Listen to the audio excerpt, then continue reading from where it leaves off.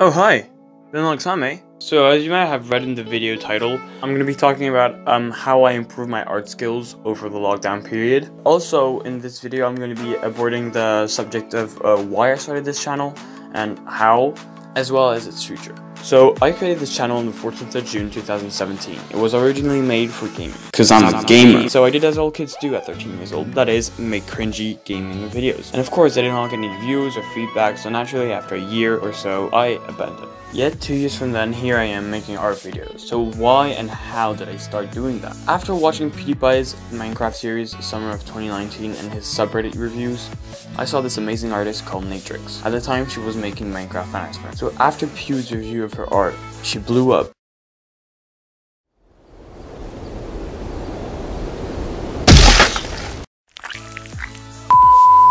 So I discovered her YouTube channel. Being a big art guy and stuff, I wanted to try and do the same thing. So I bought my own tablet, Wacom Intuos Pro by the way, really good, recommend it totally, and started sketching. At the time I had practically no time to draw.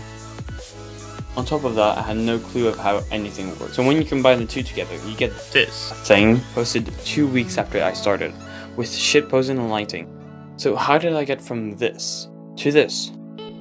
Pretty simple. Lockdown. And oh my god, this was so welcome except for the fact that people were dying, that everyone had to stay home, that you couldn't see your friends, that economy was falling, and that we were going to be the ones who put it back to its place. But as a beginner artist, it was really good because I had the time I needed to learn and practice. So I started watching every single video Neytirix made, and just by doing this, it feels like I stepped up my game tremendously. There's so much to learn from them, all the way from making good poses to making my own custom brushes. And I feel like by going through this process of watching all of her vids, has really impacted my style of drawing, for the good part. So I'll put a link to her channel in the video description, although you might already know who she is, since I speak of her in almost every video I make. So yeah, definitely go check her out. The first thing that really helped me uh, improve my skills was sketching. I know this is kind of like a normal thing to do for every artist, but doing a lot of it can help you with the mapping of the different elements in your drawing and give you a first glance at what it's gonna look like.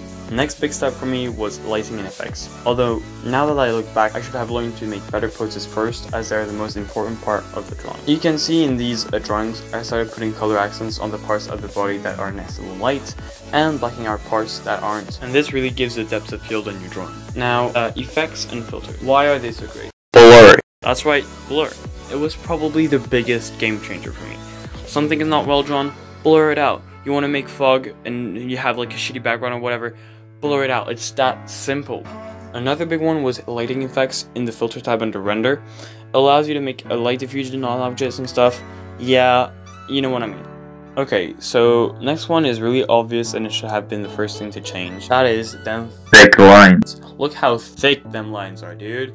So to fix that problem, I reduced the canvas resolution from 600 to 400 pixels. Mainly did this because my computer was lagging like crazy. And my mainline size is now 25 pixels wide for those who are interested. There are many more small details I can talk about, for example the small folds in the clothing, which I only started using correctly towards my most recent artworks, as well as color correction or brushes, but the last and most important thing that helped me a lot in making good looking art are, as I said earlier, poses.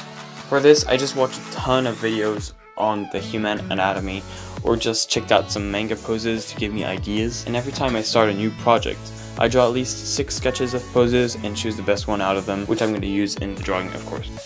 So second to last, I just want to talk about my art routine during set period. I draw at least 3 hours a day. At the beginning of lockdown, I drew also at night till 1am or more. By the way, I do not recommend this. Each time I finish a drawing, I take a day to edit the vid and post it in the next morning. After having posted it, I used to try and find another idea as fast as I could, but I found that taking more time resulted in better artworks. So now I take at least a day break, and it really helps to get them ideas straight. Finally, I want to speak a little of the future of this channel. I have uh, decided that I should have a defined upload rate, and that is going to be a video every week, except if it's a longer project. But with school coming back soon, I'm scared I'm not going to be uh, able to manage to keep a straight pace. If you like my content, you can sub and leave a like on this vid. Also, at a thousand subs, I'm going to be redrawing my first ever artwork, so stay tuned for this, and uh, have a great day.